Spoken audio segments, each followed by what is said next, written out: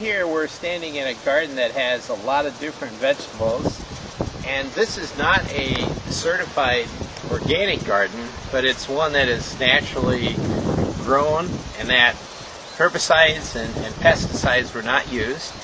Uh, some people think that organic is is too expensive to go through the whole process of, of getting certified and so they just prefer to, to raise a garden like this in a, in a natural way. They know that the uh, produce that comes from the garden is really good and it's free of pesticides, but it's just not certified organic.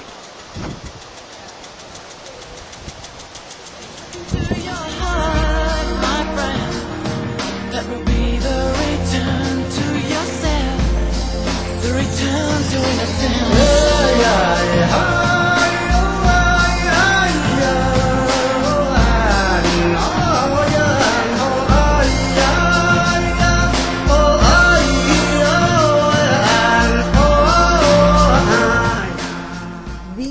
be uh, wild fields and we arrived end of March here to take one look and to say maybe this can turn into a wonderful permaculture site.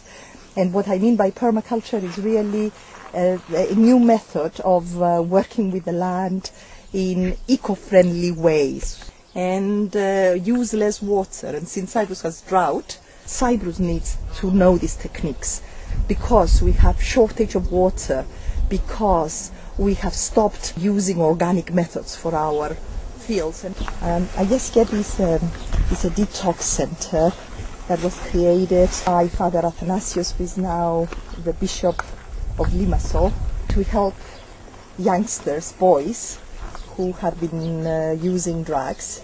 Um, I felt when I first came that it would be wonderful to get those boys work with the land because it's the best way to really get them um, to love nature, to work with the soil. But today what I've seen here is like a little miracle. What I am more impressed is what it means to the people here. Um, I've seen the faces, I've seen the interest that these people have, and it's like a link to life. I'm glad I'm part of it. So for me it was the most rewarding thing to hear from the boys, to hear them say, we don't want to lose a single member of the community and we don't want to lose a single tree from our orchard.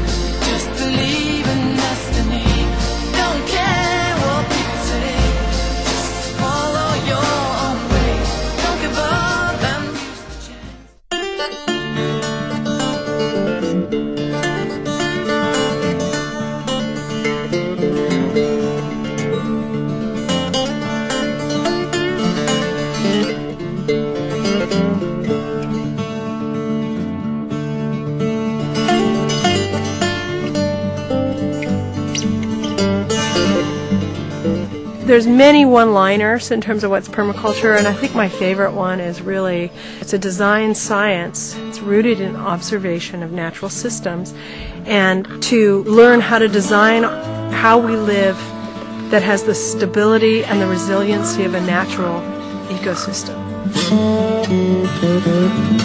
The three ethics are care of the earth, care of people, and basically setting limits to population and consumption and reinvesting surplus back into the system.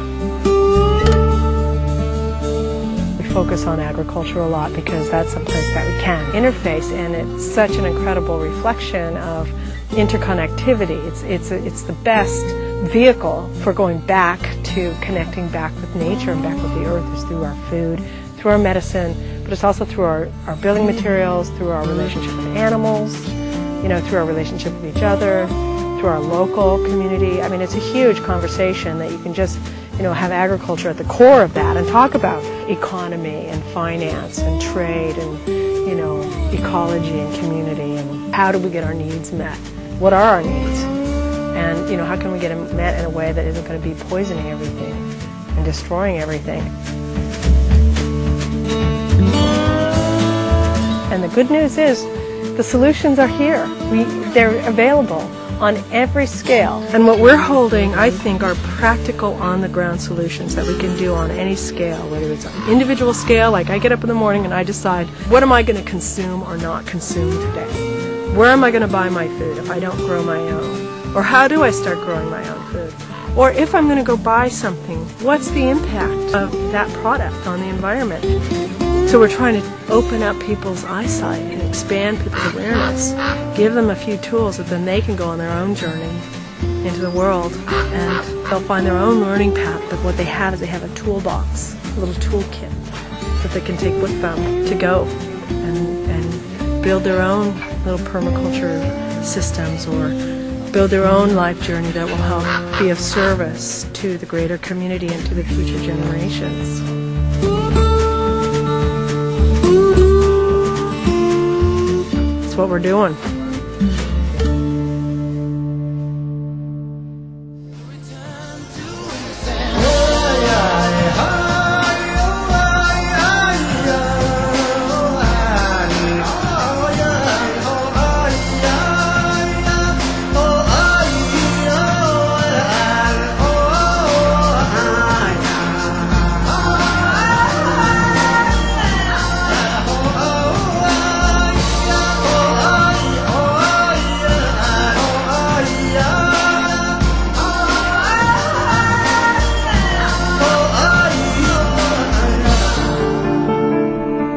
Permaculture research institutes worldwide have this intention to set up um, training centres and education centres around the world that demonstrate permaculture systems so that we can set up examples of sustainable aid to help local people.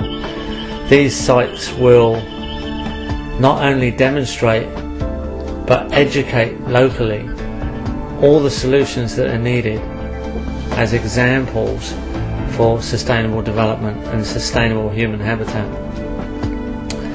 These sites will be linked around the world and will employ local people to manage the sites as project managers, educate as permaculture teachers, and administrate the sites as permaculture administrators.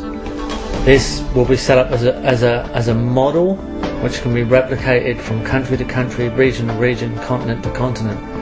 And each site will only need three years funding to be established and in complete control and in the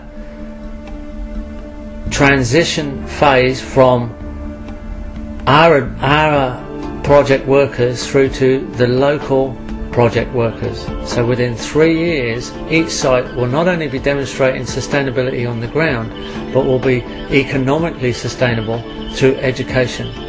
Education courses that will be open to local people, but also open to international students who will be interested in taking courses in exciting locations to get project location type experience during their permaculture education.